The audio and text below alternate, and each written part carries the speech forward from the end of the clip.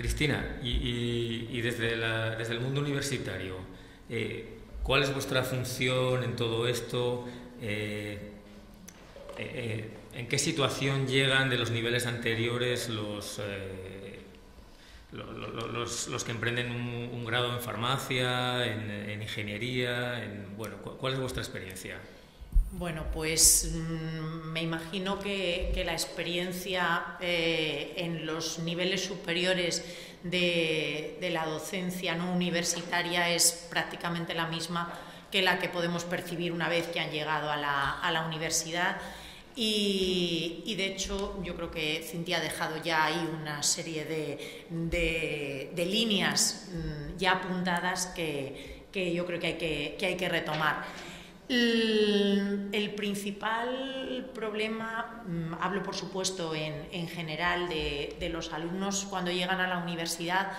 es eh, la falta de motivación. Nos encontramos con que eh, hacen un grado universitario mm, casi porque toca, es decir, terminan segundo de bachillerato y mm, no encuentran otras opciones más que eh, ir a la, universidad, incluso no las han visto antes. esa falta de, motivación, apuntando una de las, líneas que, comentaba Cintia, es preocupante porque mm, un alumno, eh, y si nos estamos refiriendo por supuesto a las, a las STEM, eh, un alumno antes incluso de llegar a, educación infantil ha jugado con las, con las STEM,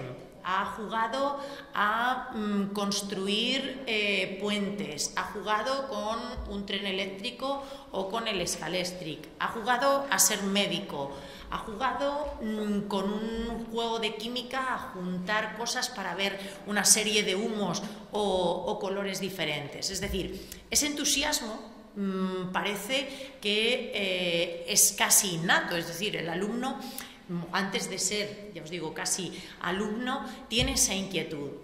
Y de repente hay un momento en el que efectivamente se corta, mm, yo no sé si es alrededor de los 10 años, los estudios dicen que sí, pues los 10 años, pero hay un momento en el que efectivamente esa motivación, esa inquietud, ese entusiasmo, esa pasión por la, por la ciencia se corta.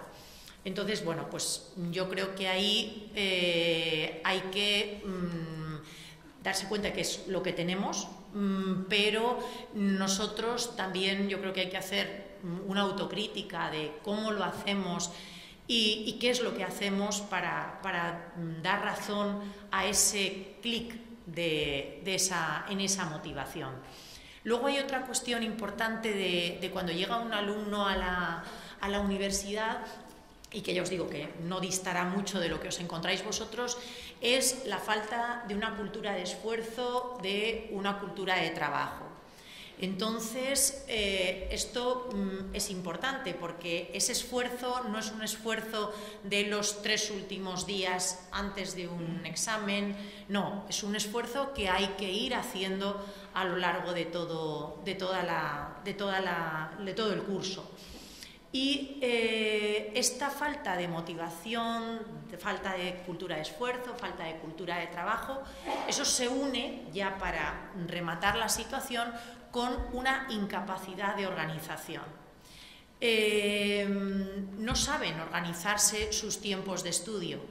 y eh, efectivamente podíamos pensar que a lo mejor un alumno, en nuestro caso de primero de, grado, pues llevara una cierta, cierta falta de organización, pero es que mm, les cuesta, les cuesta entrar en esa organización y yo veo que desde luego motivada por esa, esa falta de eh, trabajo diario, de esfuerzo eh, continuo y sobre todo partiendo de la falta de, de la falta de motivación.